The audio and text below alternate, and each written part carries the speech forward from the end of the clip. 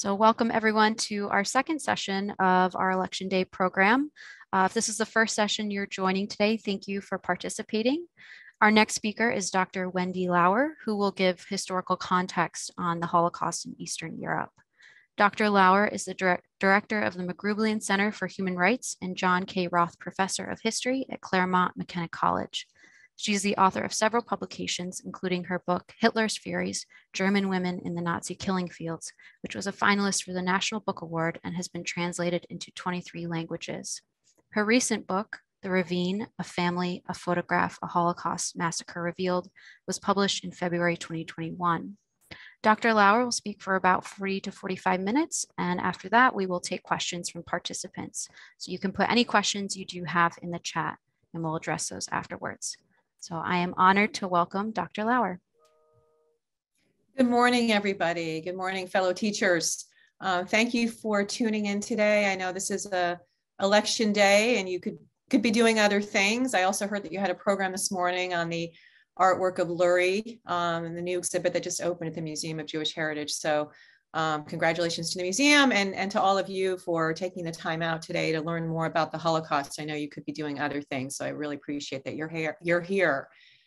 So I'm going to start with a little bit of an overview to give you some context um, for what we talk about today as the um, kind of Holocaust by bullets. What happened in Eastern Europe um, during the war, because the Holocaust occurred in Eastern Europe during the Second World War, and there's a relationship between the two that we're going to look at.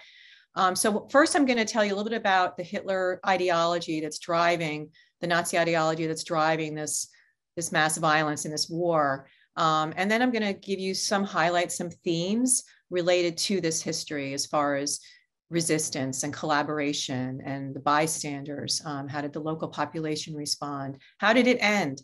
Um, did it end? Uh, so um, if you'll just bear with me right now, I'm going to share my screen because um, it helps, I think, to show you some of the geography and some of the visuals um, and some of the um, some of the basic terms that we want to be familiar with in this history. So let's let's get going. Um, and I will speak uh, for a little while, for about 35 minutes, 40 minutes. Please, as Molly mentioned, put your questions in the chat um, so we can have time for Q&A at the end. I'm really interested to hear what, you, what you've learned and what you want to learn more about. So the first thing to um, deal with in this history, I think is important with your students, is to think about the Holocaust as deriving from a real plan, a real state kind of ideology, an ideology that combines racism, scientific racism, um, uh, space, in this case, coveting kind of space, imperial expansion, um, an enemy, in this case, the Jews, the anti Semitism, which had a racial component to it. So it was a kind of biological anti Semitism, um, and, and the notion of empire. Um, Hitler uh, in his mindset and his followers really believed that Germany had been denied its kind of place in the sun, um, that it had been denied its grand empire along the model of what the British had. Um, but actually, they looked very closely, Hitler looked very closely. If you read Mein Kampf and you read his speeches, he makes a lot of references to the American, North American approach to empire, continental expansion, a notion of kind of manifest destiny, that it is Germany's fate for their own survival as a race to look to the east, to expand to the east, to the breadbasket of um, Ukraine, for instance, to the riches of, of, of the, the soil, the dark soil, um, the timber, and the grain, the breadbasket. So what happened was in the First World War, um, Hitler and the Germans had lost. The Kaiser had lost. The Kaiser had fled, and their empire had collapsed. Um, that was an overseas empire. During the Second World War, Hitler was going to win this time with an with a continental empire that was going to expand, you know, looking eastward from Germany to Poland, uh, Lithuania, Latvia, Belarusia, and and the the jewel in his eyes was um, was actually Ukraine as far as the agricultural benefits of that. The Germans had starved during the First World War, and he was not going to let that happen again. He was incredibly explicit. Hitler was very explicit about this campaign.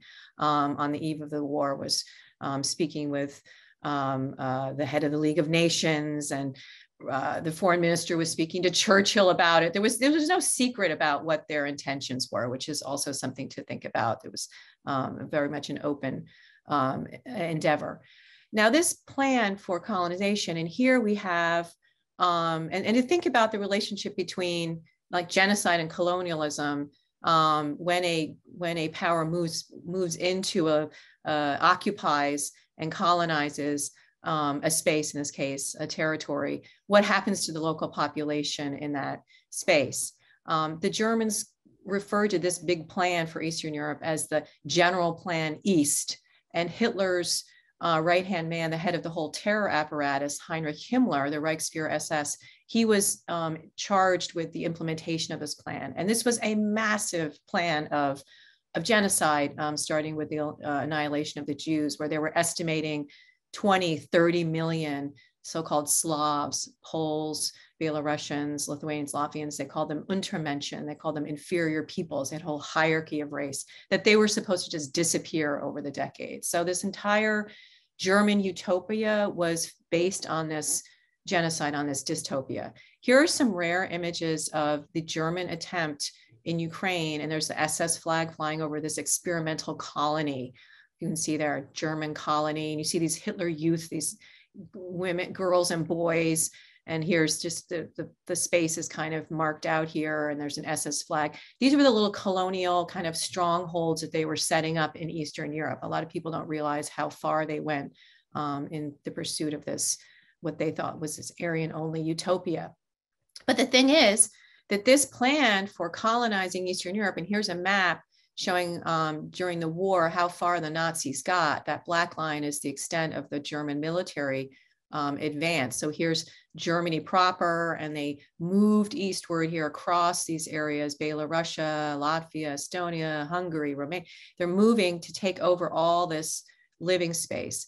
But it, it is the space itself is exactly where Jewish life thrived during really as of the 18th century and in some cases much earlier going back to the 16th century we have in this same space of eastern europe the jewish pale of settlement. The russian empire had set up a kind of reservation a space for jews only. They were restricting them um, to these um, villages and towns these shtetls um, in places like ukraine and, and all these towns i have marked out here and in many of these places, the Jewish population the, was rather high. The density could be 30 to 50% of that town was um, uh, occupied by, by Jews. And think of Fiddler on the Roof and some of these um, uh, stories and um, images you might have of, of Jewish life kind of before the Holocaust. So the Nazi plan is to colonize that space to eliminate all Jews from that space because they see them as the arch enemy, whether biologically, as potentially um, infecting Germans and and um, and um, weakening the German, the Aryan race, um, or politically, they believe that the Jews were the um, kind of incubators that they were um, pushing the Bolshevik revolution, the communist revolution, that they were radicals um, and a lot of other anti Semitic, anti Jewish tropes and ideas that carried over from centuries, um, whether Christians had um, blamed the Jews for um, being Christ killers. So, all these ideas, anti Jewish um, ideas, were kind of wrapped up into um, this Nazi ideology and pre existing in those local populations. So, Ukrainians, Poles, Polish anti Semitism. So, the Germans are entering into a terrain that is already uh, has a very deep history of violent anti-Semitism and a history of pogroms. This is a term that means kind of riots or, or popular violence. I'm going to show you some photos of that. Um, but that story of pogroms resides right in these spaces where the Nazis are going to enter into. So the Nazis launched this big campaign in the summer of 1941 called Operation Barbarossa and in their terms they called it a war of destruction. They were very self-conscious of it. It was called in german the vernichtungskrieg but all you need to, you don't need to know that german term. You just need to know that the germans again going into this campaign already um, were determined to not only conduct it militarily um, in a conventional way but to turn into the kind of occupied zones into the civilian zones and seek a total destruction of of any kind of civilian enemies and, and um, starting with the Jewish population. And they also uh, went after the Soviet POWs, um, about 3 million um, Russian soldiers who were captured during the first uh, year of the war were actually killed, um, detained in camps, um, kind of abandoned in those camps, and they were had to resort to cannibalism. They starved to death. They were shot. Um, so they uh, in this campaign already, we see massive um, crimes, war crimes against the the uh, Russian soldiers, um, as well at the same time um, the civilians in the uh, occupied territories. So, who carried out these for this kind of wave of massacres, of mass shootings, so called Holocaust by bullets? Well, the spearheading forces that started this, so right on the heel, sometimes along with the German military, the German military, the Wehrmacht, um, which launched this campaign on June 22nd, 1941.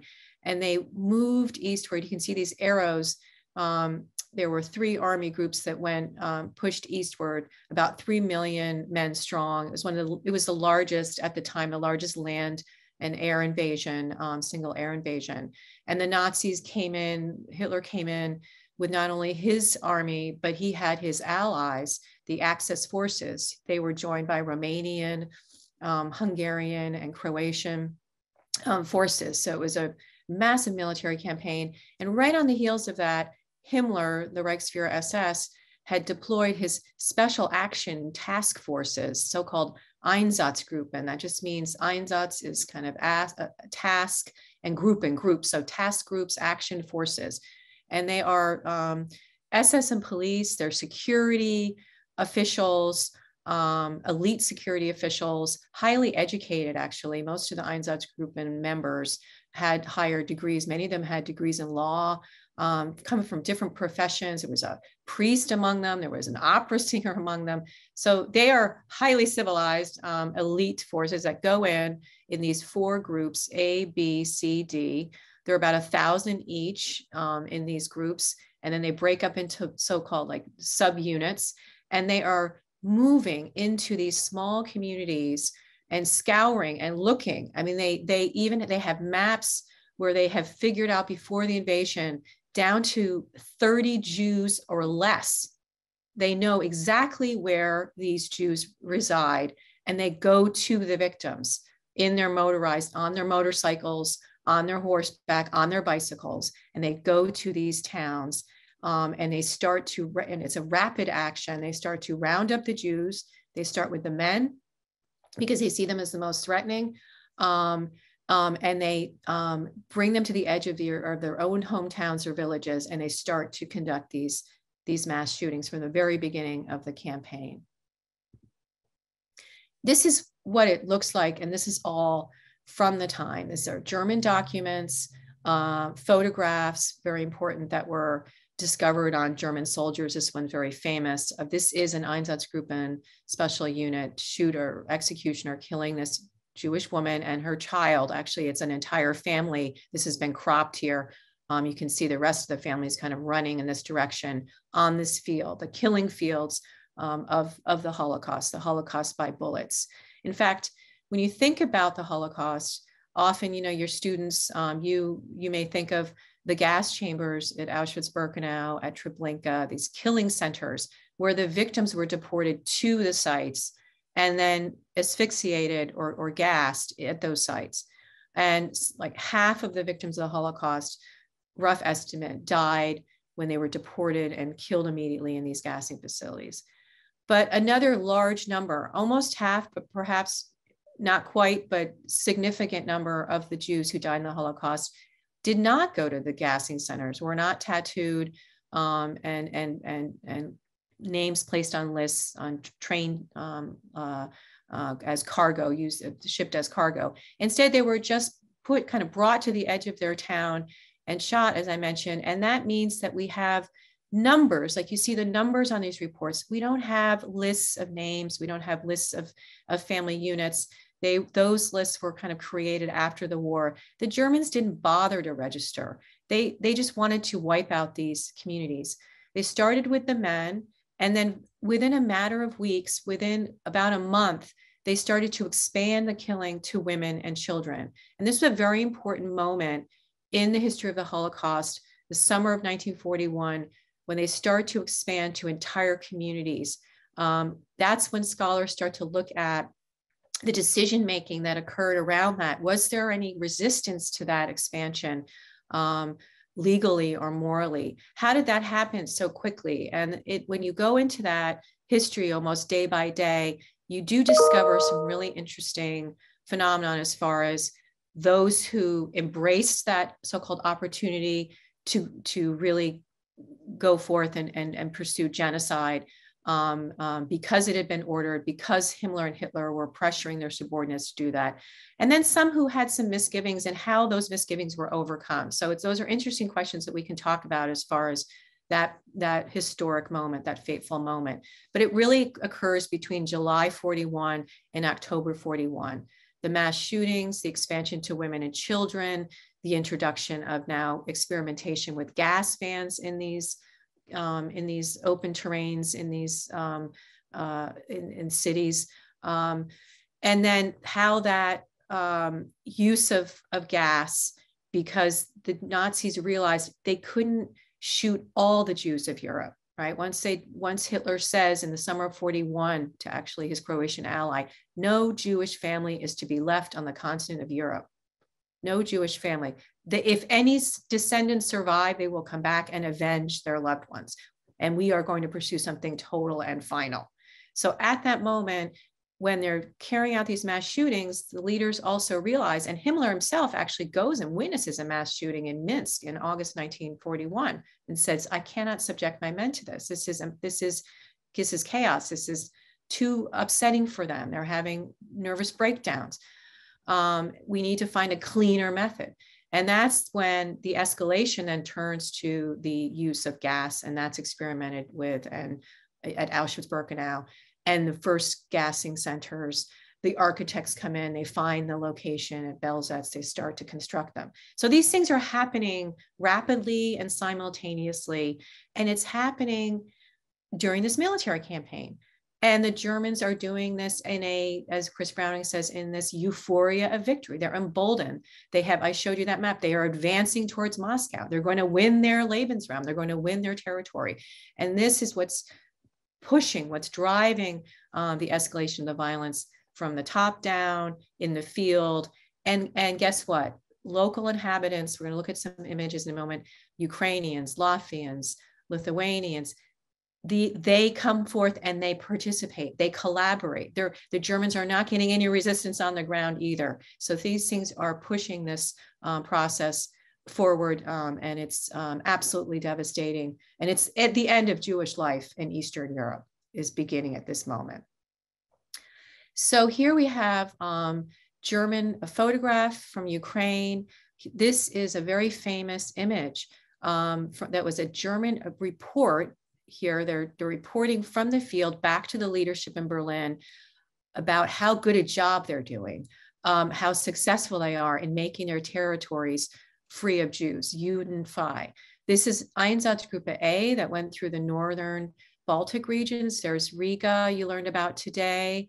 Um, and there's Kovno, Lithuania, Belarus, Minsk, into Russia, Estonia. This is the number of Jews per, that they have killed um, in the population. You see the precision of the of the of the numbers of the of the bookkeeping, as it were, in the most horrific way. And this this German chief of Einsatzgruppe A um, not only is listing in his radio; these are telegrams going back. Einsatzgruppe A. He's based in Riga. This guy's name is Jaeger. He's an SS officer. He's reporting back. Um, and this is actions from December 1941. I show this image to my students because you can see the thoroughness, but you can also see the different victim groups and the fact that the Jews are, are overwhelming majority of those killed. And this report basically says, lists the victims, um, and there's a translation on the bottom of it too, pardon me. Um, um, Poles who were killed, mentally and physically disabled, 653 persons, partisans, um, and here's the number for Jews killed 136, 421. This is just in the first couple months of the campaign. Um, and then there's a breakdown. Um, this this man is is so uh, diligent. He breaks down the total sum. Um, so out of the 138,272 victims who are mass murdered in the first couple of months here by this one small unit um, of killers, within that he tells us right down here, 55,556 of them are women and 34,464 of them are children. So that explicit about what's going on. And then the uh, attachment to that photograph, to that, to these reports is this image. This, this, these killers went so far as to create this map um, to show their superiors and include these images of these coffins to provide that visual aid. That's the thinking behind this as a, this mass murder. And as they're doing this systematic campaign in the local population is kind of drawing from its own history of anti-Jewish violence are these so-called pogroms, these um, massacres, these riots um, that involve the local population. Now they're going into the Jewish quarters of cities. This, these are photos from Lviv, Lvov, Lemberg, Western Ukraine. Also massive pogroms in the town of Kovno, these are seven to 8,000 Jews killed in Kovno, 6,000 killed at the end of July in, in Lviv, Lviv, Lviv. So they're killing these Jews kind of openly on the streets while the Germans are actually bringing out Jews and shooting them at the edge of town. So it's a combination of a, a military, so-called military security operation and lo local um, popular um, violence. Probably the most um, uh, famous of these mass murders that were part of this history of the Holocaust by bullets um, occurred at Babi Yar. Uh, in Ukraine and was recently um, the 80th anniversary was just commemorated. There's a new memorial that's opening up in Babi Yar that's very interesting. We can talk about as well. Um, but here we have uh, an image of the city of Babi Yar. I have I'm showing here just in terms of the proximity of this large ravine at the edge of of the city, at the outskirts of the city. So the Germans put nature to work. They're taking these, they're taking the rivers and the swamps and the large um, gorges and the natural beautiful landscape and they're turning them into killing sites they're letting you know they're, they're bringing these in this case almost over 30,000 jews in the urban population of kiev who were ordered here. Jews must report by 8 a.m. on September 29th to this street corner, and they're being marched. If they don't follow this order, they're going to be shot. And then they're warning the civilians who want to plunder because there's a lot of um, incentive on the part of the local population um, to go after Jewish property, um, that they will also be shot if they violate that. Note that they're not uh, talking about you know any civilians who harm jews will be punished it's all about uh, the competition for for jewish property and jewish personal belongings. And here is the order that was issued in um, um, ukrainian and russian to the local population. And these jews over two days are brought out to this ravine. You can see the landscape. And this is um, also an image to show you just the magnitude of the of the mass murder um, 30,000 uh, up to 50,000. These would continue these shootings um, into October 41. And these are the officials, the German policemen kind of sorting through all the Jewish um, belongings and their clothing. And they've been shot, um, uh, so-called sardine method um, in this ravine. And later on, the Germans are gonna try to cover this up um, and dynamite the walls of this ravine and cover up this entire uh, uh, uh, hole here in the landscape and, and try to conceal their crimes. Um, and this is an interesting story as far as what happened to the site after the war, and I'd be happy to talk to you about that as well.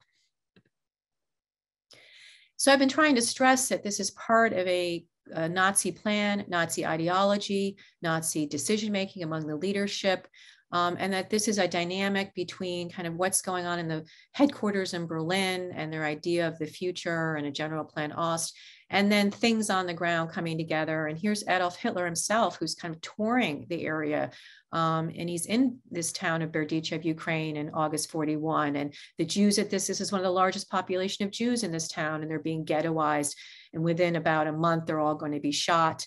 At, a, at the low on the local airfield at the edge of town. But here's Hitler being, you know, jubilantly greeted. This this gentleman's taking film clips. There's a Sieg Heil. He's got his hand up, and then these women are here. These nurses are here. They're right there on the scene. Women were also part of this campaign. Um, almost a half a million women were um, brought into the uh, uh, occupation zones as nurses and welfare workers and secretaries.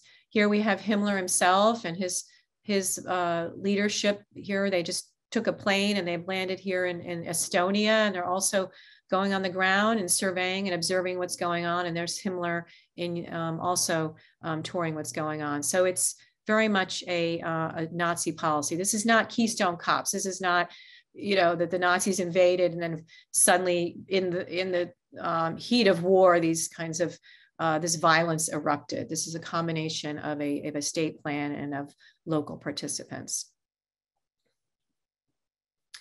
Um, I've been working on this photograph for uh, several years actually, and it's um, you know rather very this all very disturbing history to study, especially the sources, because the imagery can be um, incredibly um, painful and incredibly hard to uh, look at. And that's that's something that I know is going to be a challenge when you get into the classroom with your students. Um, uh, and you know, I'd be happy to answer some of your questions about pedagogical strategies um, in that in that regard.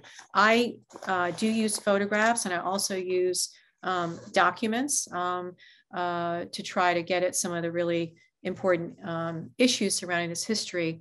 Um, two of them are uh, the issues of collaboration and resistance. So you know, thinking about if you were at one of these scenes, you know, what could you have done if you were Jewish or if you were Ukrainian or if you were a German soldier and how would you have responded? And, you know, was resistance even possible given this over, overwhelming assault on these communities and the speed in which the Nazis occupied um, these communities and, and rounded up, up the Jews and carried these actions out. Here's a photograph from um, Ukraine uh, in 1941 October from Mariupol that's I think encapsulates a lot of this history. You, you see a Jewish family at the center of it. Um, and what about the fate of families? And remember Hitler's quote about not wanting any family to survive. And how does a family experience this history? Um, and how Jews had to make so many decisions around um, their sense of family who should flee, who should go into hiding, um, how can one, you know, how can a father protect a daughter in the face of uh, pogromists who, as you saw in that photo, that woman whose whose clothing was torn off, that the um, prevalence of, of sexual violence and rape that's going on, and um, and how to protect the children um, uh, uh, from the information, from to find them hiding places and negotiate that with people in the local community. Uh, so these were all, you know, fateful decisions um, and sadly, in places like Ukraine, the survival rate was so low, like 2%. This massacre here that you're looking at, uh, one person survived that, that massacre from that, from that town. Um, and what, what happens to that um, survivor who, who comes out of the war orphaned um, in that way? And in this picture too, we also see um, this is happening in broad daylight. And here's again the use of the landscape. Um, this they're being shot at this the edge of this pit. And what does that mean for the local population? This is their hometown too. And these mass graves are there to this day. I visited this mass grave. The, the, the bones are still, you know, discoverable. Um, and it's part of a, of a local park. Um, and the, the men in this photo, the way they're clustered together, the German officials with their caps shoulder to shoulder with these Ukrainian um, auxiliaries. They don't speak the same language. These Germans have just arrived on the scene. There's a, a man in the background kind of helping out an onlooker. Um, and they're they're they're carrying out this this act together, um, this anti-Semitic violence.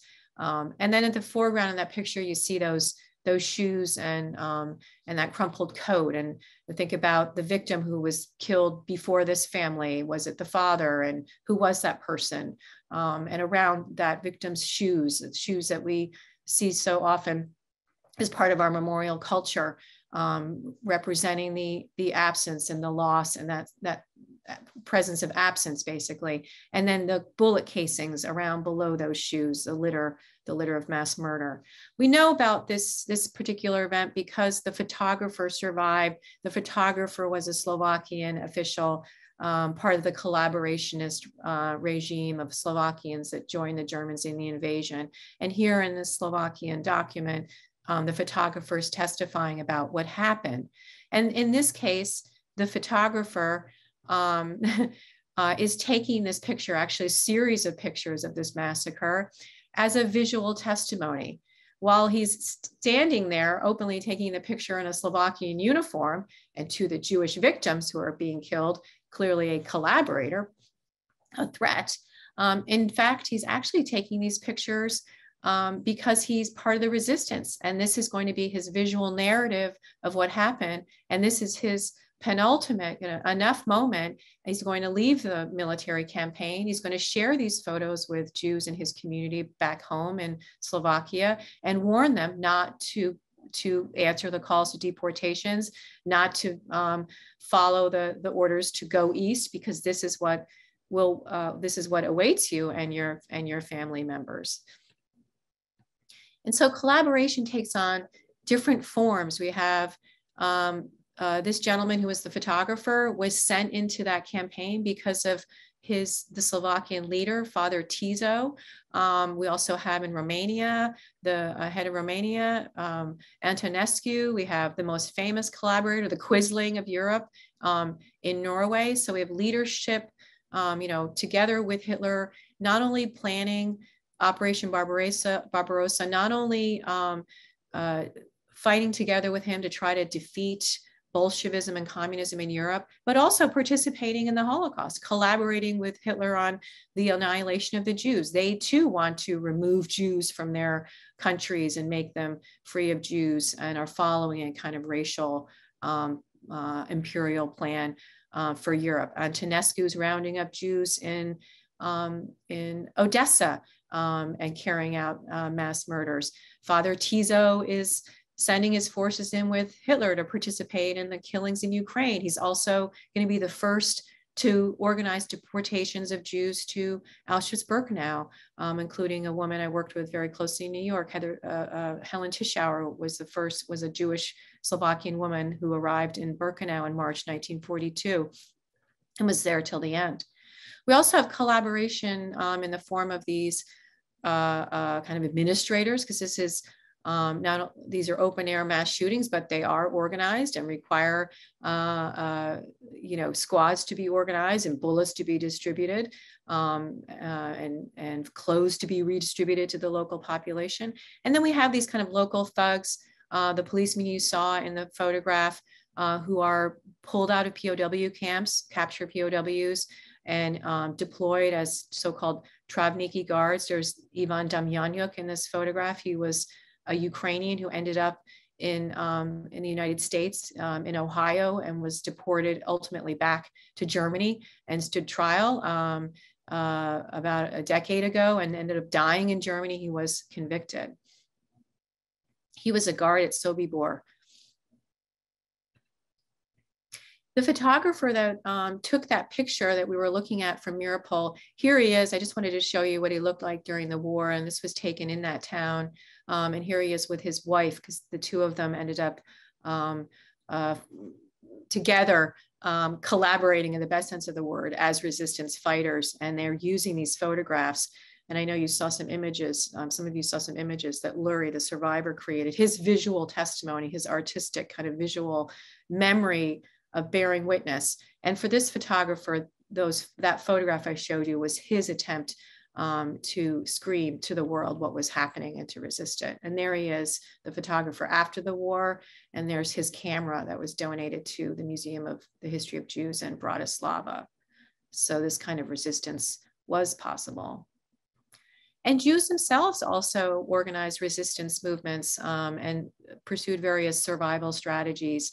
Um, about 10,000 Jews in these fighting units and in these family camps. The most famous was um, Abba Kovner's resistance um, uh, movement in the Kovno ghetto in Lithuania. And here they are. Here's Abba Kovner and his group, mostly young. You can see there he's in the center. He would survive the war and actually testify at the Eichmann trial.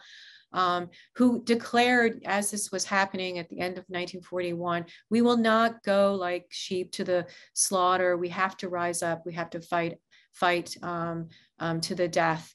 Um, and the Warsaw Ghetto, probably in 1943, the most famous act of armed resistance. Um, but sadly, this was it, it's these are um, very important for the history of uh, of Jews and for the history of genocide.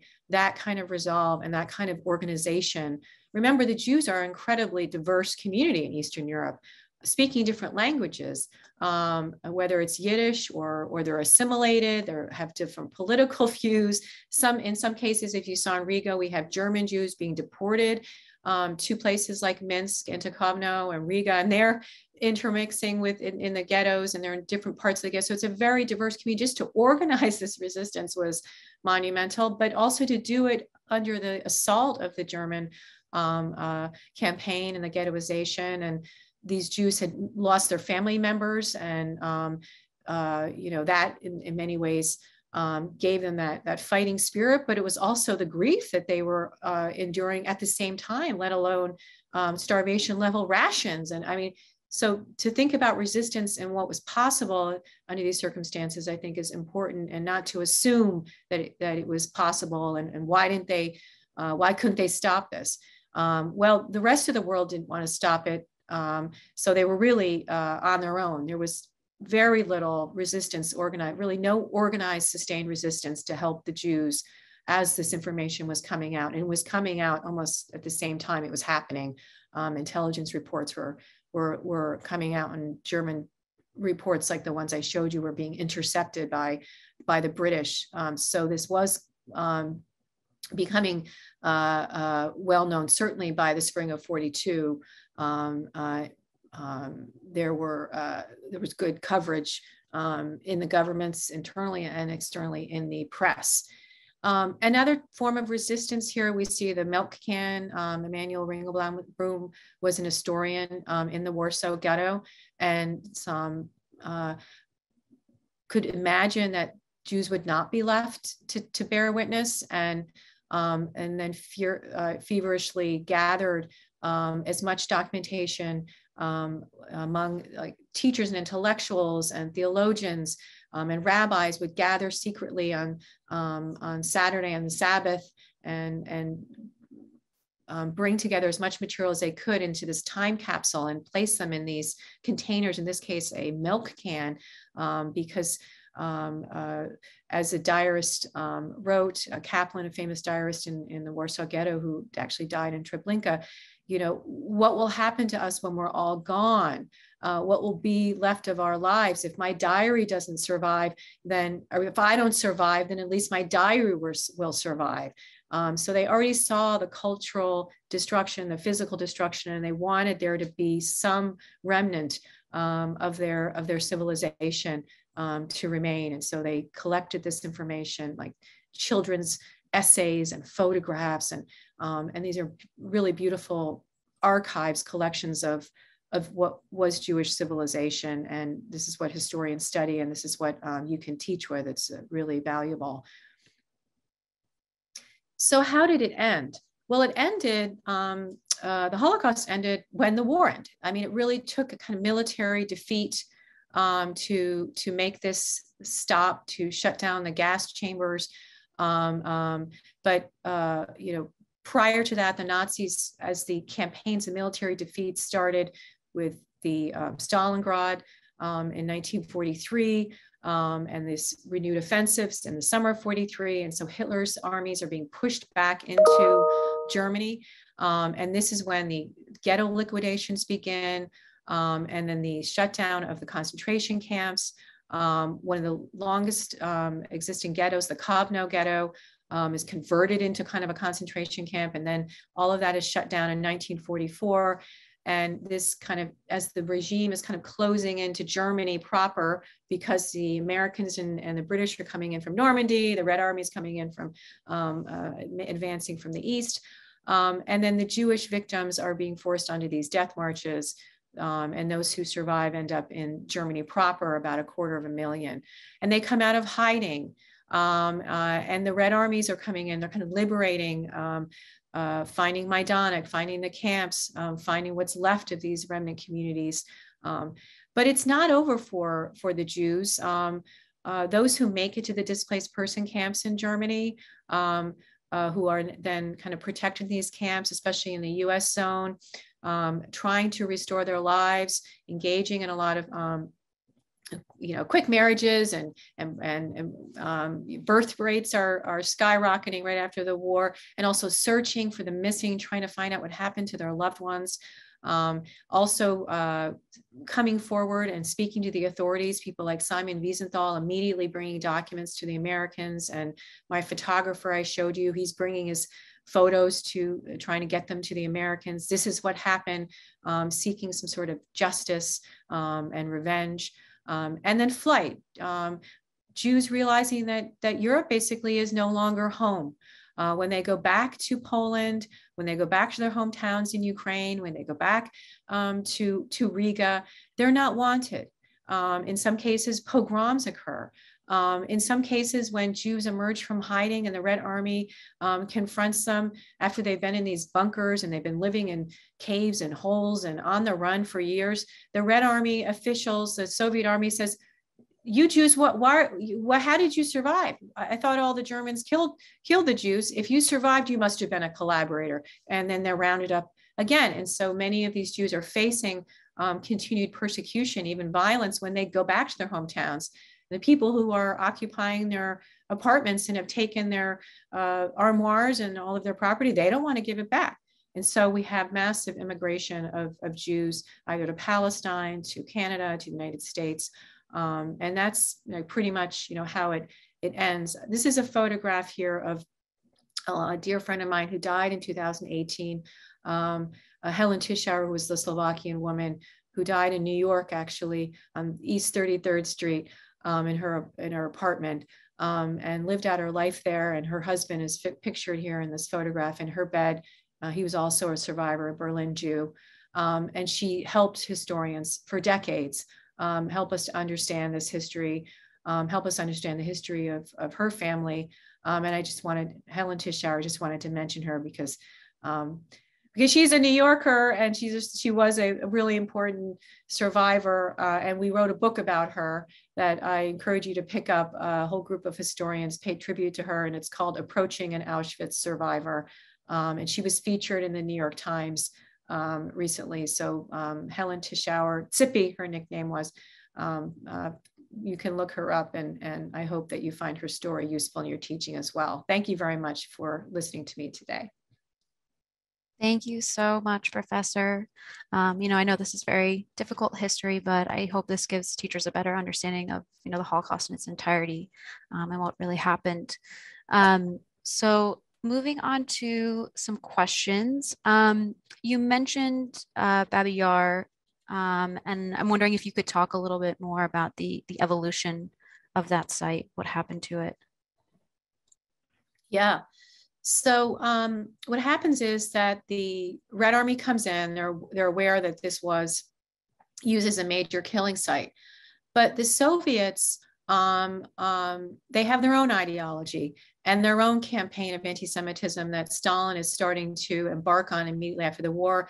And um, because he died basically in 1953, Stalin, that campaign was not carried out, but already started to go after the so-called believe that Jewish doctors, there was a plot to kill him and he became paranoid and everything. But um, while the, this Jewish survivors, especially in the Red Army, were collecting testimony and trying to document this, um, the Soviets themselves did not want to draw a lot of attention to the uniqueness of the Holocaust. They said all peaceful Soviet citizens died, and they wanted to um, kind of diminish that um, the specificity of, of Hitler's anti-Semitism, and in large part because they did not want to talk about their own Soviet citizens' anti-Semitism, that they participated as collaborators, that they had taken this property, that they had participated in these pogroms. Um, so that was something that they did not want to draw attention to the behavior of their own um, citizens. And so they also engaged, they continued the cover up uh, that the Nazis started in the site like Ukraine. They completely filled in that ravine. It had been dynamited by the Germans, but they really finished it off as far as evening it out um, and, um, and covering it up um, and turned it into a park. Now, what happened was um, uh, there was a brick factory and other um, industrial uh, uh, facilities near that site.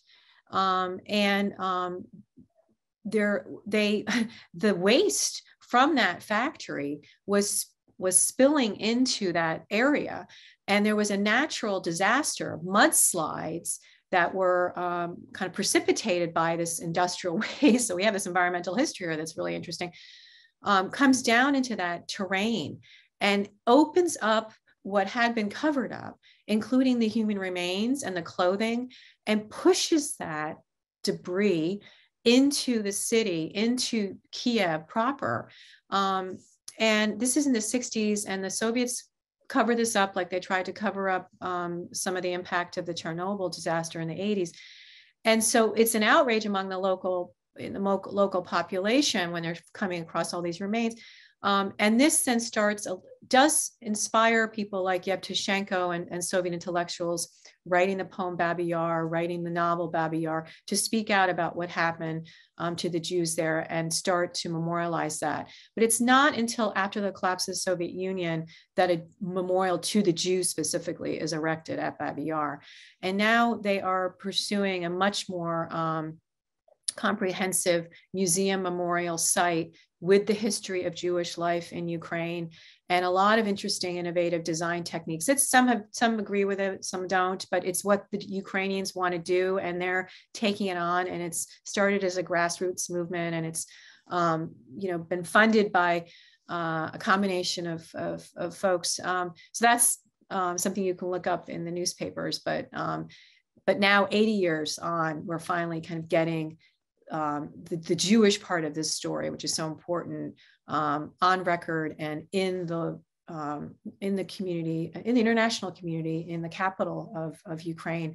Uh, and the, I, I, think the designs are, are really impressive um, and the commitment is there. And I think it's, we have to support it. I mean, what's the alternative? Look at what's going on in Poland and in Hungary. Um, and I think that there's a lot of pressure um, for uh, Ukrainians to potentially pursue that the path that we're seeing in Poland, Ukraine, and Hungary as far as suppression of collaboration, suppression of this history, um, and they're choosing another path. So I think that we should support that. Thank you. Um, so another question, um, do you have any examples or um, stories of survivors of these massacres? Um, I know you mentioned Helen, but if, if you have any other examples.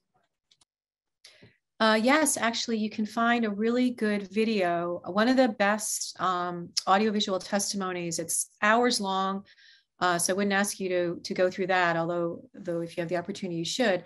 Um, her name is Blekhman, um, Ludmila, uh, B L E K H uh, M A N, uh, Ludmila Blekhman. And Ludmila survived the, the photo that I showed you from Mariupol, Ukraine. Mariupol was Ludmila's hometown. And Yad Vashem um, posted um, a synopsis of her testimony with English subtitles because she gave it in Russian.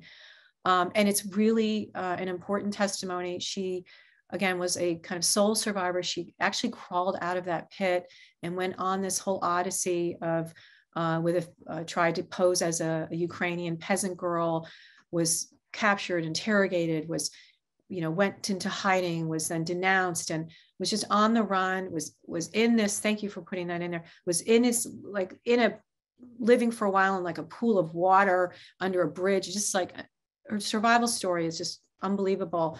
Um, and she actually. Um, uh, participated in the trial against those Ukrainians who were pictured in that image, those policemen. They were found, they were hunted down and found and convicted and, and executed. There was justice there in the late 80s. It was very late, um, right before Ukraine got its independence. And Ludmila um, attended that trial and participated in that trial and saw that justice for her family. Um, and I, I'll just I featured her story and this photograph in my book, The Ravine. So it's a it's a compact book. I deliberately wrote a book, uh, kind of micro study that um, for graduate students and teachers to understand the, the, various sources you can use and how you can piece the history together and um, in visual way with artifacts, looking at the landscape. But I try to make it a very compact book so that people, I know you're busy, can sit down and you know get that story down and how it's put together and some of the key questions and and hopefully that will help you. And Ludmila is featured in in that in that book. So I usually don't push my own work, but I'm I created the book to try to help uh, help teachers and students. So thank you. Mm-hmm. Um, so another question, um, have there been many witnesses to massacres who have come forward and spoken about what they saw? Uh, absolutely. In the PowerPoint presentation, I had a YouTube link um, to a survivor. Um, there's so many incredible accounts you can draw from as far as the survivors. Abraham Sutzkever. Hey, Abraham Sutzkever um, was uh, uh, um, a poet, you know. So you you also have the Lurie um, images. You know, how do you convey what it meant to experience this history? What was survival? Um, what carried on after the war? What was the aftermath of that? How did survivors bear witness on behalf of their families and communities and try to deal with this history um, and the resonance of it? And Sutzkever was um, this Yiddish poet in Lithuania in the Vilna ghetto. Um, and he wrote this poem in January 1943. He was working, his own family had been deported um, and, and gassed and or shot rather, and, and their clothing and shoes came back from that site. He was sorting through them and he found um, his mother's shoes. And on that occasion, he wrote this poem, and it's in my book. And I uh, usually read from it. I find it very helpful with students to read from that poem because it brings out the individuality of the victims and it's of the moment from 1943 where he talks about the empty boots and the slippers and pumps and who wore these poems and there's my mother's sabbath pair um, and they're you know representing jewish life through these shoes and I, I think that's a helpful helpful device as far as um, we see shoes in the memorials and people wonder about them. In the photograph I showed you from Mariupol, those shoes are in the foreground. So it's a way to uh, approach the uh, individuality of those Jews who died and of, of Jewish life. And Sutzkever actually testified, he survived. The Soviets helped kind of rescue him. They wanted him, him to survive. He was such a, a powerful speaker and uh, intellectual uh, talent. So they like um, brought him to the Nuremberg trials. And on this like 69th day of the trial, he stood up. He was the first in the courtroom to really tell the story of what happened in Lithuania and to describe in detail what the Germans did. Their the, the you know, forms of persecution. And it's a very, it's about four minutes. Sutzkever, you can have his poetry there and you can play that video clip of him in the Nuremberg trial, standing there, um, trying to keep his composure, speaking, you know, very factually, but it, it clearly um, with difficulty. And then you show that the, the camera shows those Nazi perpetrators, the highest ranking perpetrators, Goering, the people who were left, the biggest fish, and they're listening to that. You can see the way they're reacting to it. Some are looking down the paper, some are really listening. So uh, that's also, I think, a good um, uh, bit of, of footage to show and of course his story, Sutzkever's story, and his poetry, and those shoes, um, I think, are another way to to teach this chapter. Thank you. Um, so another question is, um, you know, how how available was information at this time? You know, were any communities aware of these mobile killing units and what was happening? Um, specifically, were the Jewish communities um, able to learn about this in any way? Mm. Yeah. Um, so we do know that a couple things. First of all, um, unlike um, our experience with war, where we sent our men overseas, um, the German forces, this was uh, a continental campaign, and there was circulating back and forth from the these battle zones and even these genocide zones, you know, the, the killing on the front as well as immediately in these communities behind the lines. And they were going back and forth, you know, on leave. Um, they didn't just go overseas and stay for a few years and write letters, and it was like filtered through letters, or the censors caught their letters and confiscated their letters. So there was this information flow. And of course, there were rumors. But even before, I mean, I showed you that picture of that nurse um, one of the nurses that I interviewed who ended up in Ukraine, and she arrived in November 41, right? So she arrives on the scene and immediately sees and is, knows what's going on. But even before she arrived, she was in Berlin, and her friend, who was a journalist in Berlin, she's a, a, a German woman, and she tells her friend, you know, I'm I'm I'm being um, sent to Ukraine uh, as a nurse. Um, and he said, you know, watch out, Annetta um, you know, they're shooting all the Jews. Um, so uh, already the information is circulating among the Germans um, very close to, you know, the time. Um, and as I mentioned, the British had intercepted reports uh, in late August 1941, and British intelligence analysts um, had already concluded at the end of August 41 that there was a systematic campaign to exterminate Jews specifically. And Churchill was aware of that as well when the Babi Yar massacre occurred um, uh, shortly thereafter, we have in the diary of Klemperer, he's a Jewish man who's married to a German woman in Dresden, and he's in hiding and he's writing in his diary that he's hearing about these um, mass shootings outside of Kiev. So the information for people who are, you know, willing to look into it, who are listening, who are paying attention, you know, can they can piece it together. But most people um, just didn't want to even jews just didn't want to believe this it's it's about not only it's about comprehension and um, and disbelief and and uh, the kind of absorption of that the, the realization of that. Um, so the information was there but not everybody really wanted to comprehend what was happening. Thank you. Um, so you know, we've talked about a few strategies to talk about this type of history with students. Um, you know, it's obviously very painful history. Um, so I'm wondering if you could talk a little bit about other strategies to introduce this type of history to students. Mm. Yeah. Um, well, at first, I think it's um, students. It when you show a lot of violent images or tell stories about violence, you can't leave it at that, obviously. Um, it doesn't explain um, how these things happen.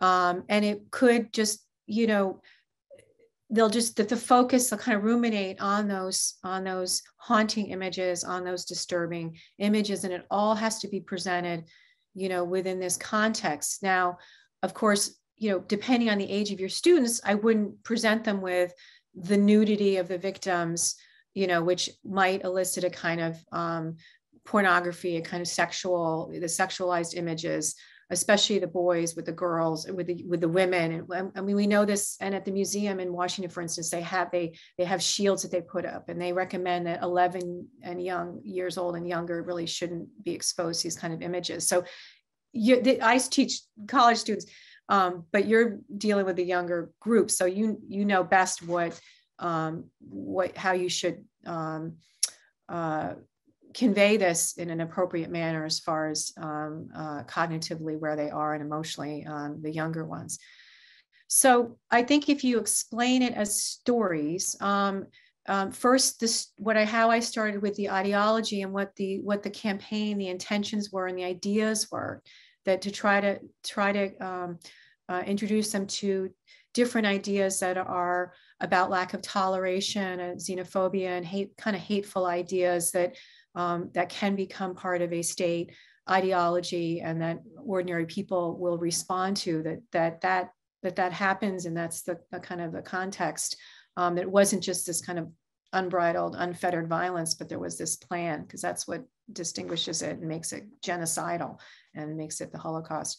And then yes and to um, show, you know, talk about the individual portraits of, of pick out perpetrators, um, uh, maybe their biographies who, who were in the Einsatzgruppen, um, uh, and maybe how did they get to that point? Or I have, you know, biographies in my work on women because um, uh, it's not all about men. It's uh, men in uniform, but this is a social history as well. You saw the picture of the, the youth, you know, and the and the boys, the Hitler Youth, part of this colonization experiment. Um, uh, and the stories, the individual biographies of the survivors, um, uh, which we have in, in different form. Um, the artwork that we saw, how do they express, you know, what happened to them, what happened to their family members. Um, uh, to individualize it and also as i uh, suggested to also think about family uh, as a unit of, of, of as a victim unit um, and i use i have a you know german reports um, the one that i showed you with the numbers um, it's not overtly graphic but when you sit down with a student say this is what this is how they did this um, uh, and all these different victim groups and explain why did they go after the, the mentally and physically disabled. And they were also on that list I, I didn't point out, it said gypsies, Zigeuner. Um, why were, you know, they specifically pointing out the women and, and children? Um, I have another report that I often use um, that uh, uh, is also featured in, in the book, The Ravine, um, about a family that Germans found in hiding in 1943. And it's just a brief little report that says that this family of three men, two women, and three children had been hiding in a hole in a field. Um, and that the police, the German police, had been tipped off by a local. Um, and then the German police officials, just a little report, um, just to show the bureaucratic nature of this and then the thoroughness of it. Um, in this little village, he says these Jews were flushed out of a well camouflaged hole and they were shot while trying to escape, and their tattered clothes were given to the local villagers. Um, there's a lot you can do with that. I mean, they they were on the run. Their clothes were given to local villagers. They had been denounced by the local villagers. They had been there for over a year. You know, that was what it took to survive. They were this this family unit, three men, two women, and and two three children. What was what was that? Um, uh, grouping um, and, and imagine that. Or the Sutzkever uh, work that I referred to, um, where you combine the story of an individual survivor with the richness of his poetry and, and how that comes across. Aaron Appelfeld's work is also really um, is, is important too to, to bring in. I, a lot of material you can use for sure. Mm-hmm. Um, so thank you so much. Um, we are out of time, um, but you know, it was such a, I think, really powerful presentation, and I hope it gives the teachers more context for this history, this lesser known history, especially. Um, so thank you so much, Dr. Lower. Um, and thank you to, for the teachers for joining us. Um, our final session of the day will begin at 12.30 p.m. Thank you so much. Thank you. Look thank at all you. this great information in the chat. Thank you so much. oh my gosh, awesome. Thank you. Thank you, Have everyone. A Have a great Bye.